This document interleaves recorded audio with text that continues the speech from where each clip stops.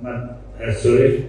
Yeah, um, it's a difficult game. Um, with a good team, uh, but we come here to try to make a good game like always and fight for for three. Ya, saya mewakili pemain, saya pikir eh, target kita tetap sama di home dan walaupun di away kita tetap eh, targetkan tiga poin. Kita tahu kita juga sedang berjuang di eh, posisi di bawah dan kita pasti eh, berjuang juga untuk mengamankan di posisi di atas. Uh, tidak uh, pemain asing dalam Ilmansya ada Angelo, um,